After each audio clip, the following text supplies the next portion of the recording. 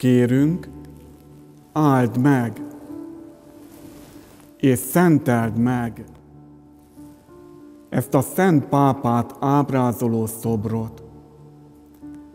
Segíts jóságosan azokat a szolgáidat, akik Szent második János Pál pápát itt tisztelik Tolnán, hogy a hit és a jámborság útján haladva Szent Fiat képmására igyekezzenek átalakulni, aki él és uralkodik mindörökkön örökké. Amen.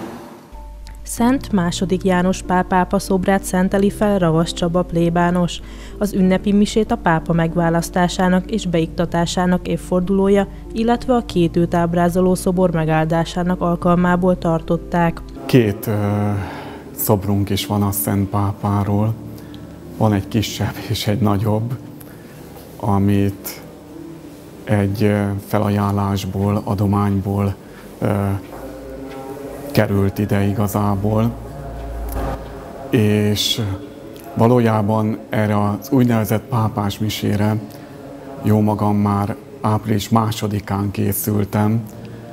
Ez még ott annak az időszaka volt, amikor karanténban voltunk a pandémia miatt, nem lehetett nyilvános miséket celebrálni, tehát ez a terv ott akkor meghiúsult. De ugyanakkor a Szent Pápának éppen most ősszel, október közepe tájékán van a megválasztásának és a beiktatásának az évfordulója, ami 78-ban történt, október 18 meg 22-én. És most, mivel hát szájmaszkal, de lehet jönni szentmisékre,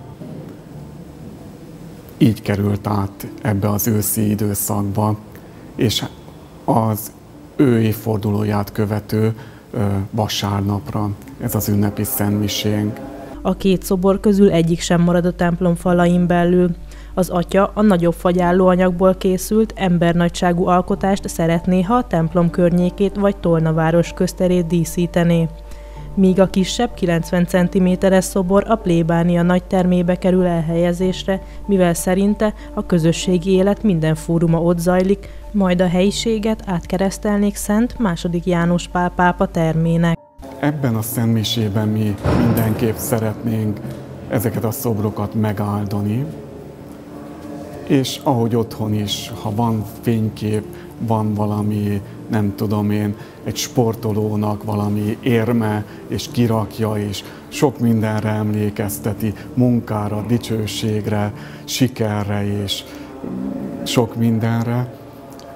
Azt gondolom, hogy a Szent Pápánknak a szobra is mindenképp egyfajta figyelmeztetés számunkra is, hogy föl lehet rá tekinteni. Van az a példa kép, amit ő mutatott, hogy mi magunk is egy ilyen úton járjunk. És nyilván, hogy évközi vasárnap lenne, amúgy zöld szentmisét, zöld miseruhában miséznék.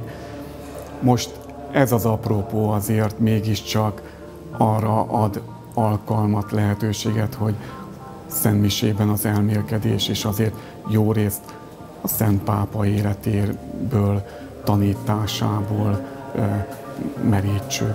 Az a hatalmas lelkesedés, amivel a világ fogadta, sok mindennek volt köszönhető. Nyilván volt egy kedves egyénisége, egy adottsága.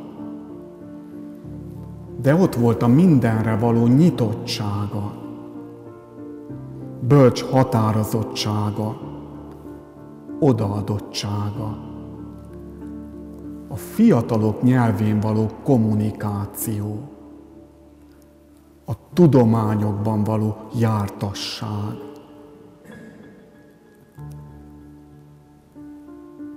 Ő benne egy világos, érthető és szerethető jel tűnt föl a világ előtt. Szent második János Pál pápában Krisztus közelségét érezte a világ. Azt gondolom, hogy látva az ő életét, ami már aztán az öregségbe, betegségbe is bele-bele hajlott, hogy ezt is méltósággal tudta megélni. Mai ember is sok mindenben érdemes, hogy odafigyeljen éppen ő rá. 1920-ban, május 18-án éppen száz éve született Szent II. János Pál pápa. Élete során kétszer látogatott el Magyarországra, 1991-ben a Pécsi Egyházmegyében is járt.